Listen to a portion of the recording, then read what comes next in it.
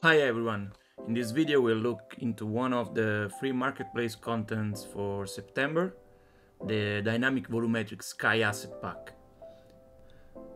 This asset normally sells for around 30 euros and while I was checking it out in the engine I came to a conclusion that it's a good price, even too low for what it delivers. So getting it for free is a really good catch. I'm going to mess around with it by creating a new project using the third person template. Then back in the Epic Launcher the asset can be added to the project by pressing the add to project button.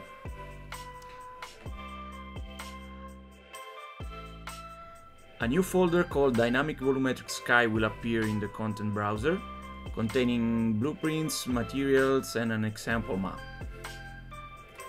When you load the example map, the editor will take a while to complete all the shader compilation. We are then presented with a level that has a floor plane and two blueprints. One contains a cube with a wind component. Here you can see its effect by making the cube slide away when I press play.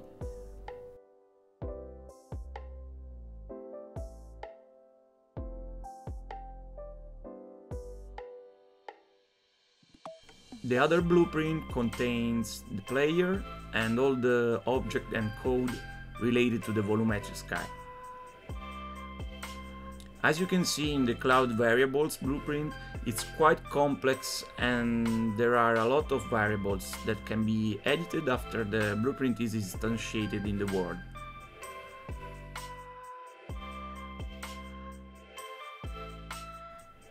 Position variables are intended to simulate the position and inclination of Sun and also the Moon relative to the selected latitude and longitude along with the time zone.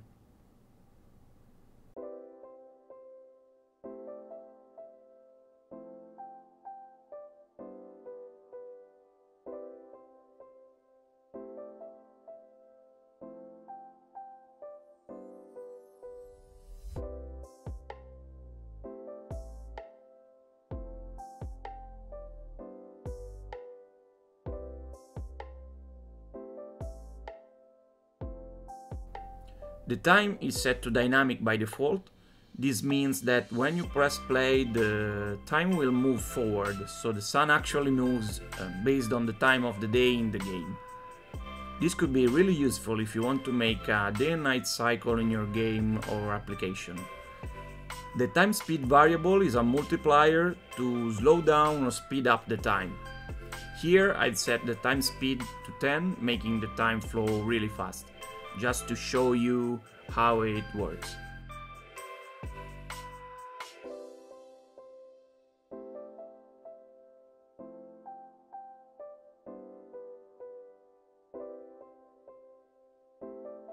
The weather variables section lets you choose which weather is currently active.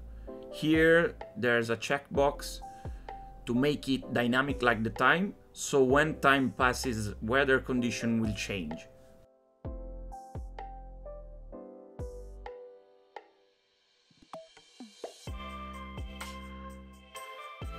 In the cloud variable section, the quality drop-down is used to select the overall quality of the clouds.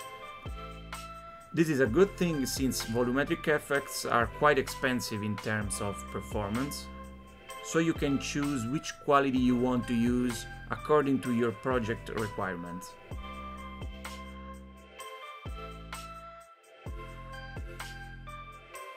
Here I set them to quality and ultra quality and move the camera through the clouds. And as you can see they look quite good. The cloud variables list include also a series of parameters that let you tweak the appearance of the cloud, like the density, shadow, and tiling.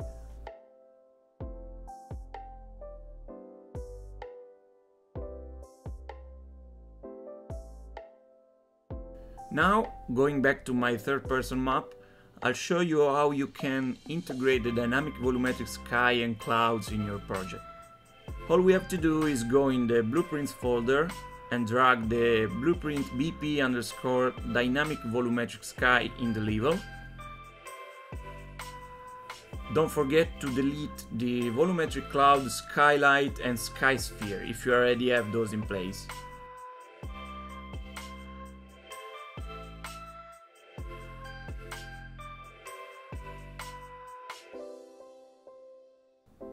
As you can see, you can actually fly through the physical clouds, going above and below.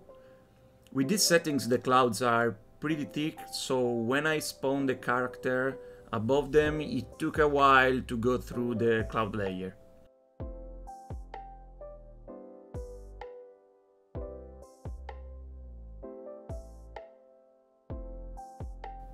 Here I've disabled the dynamic weather and time to manually change the hours, minutes and seconds sliders.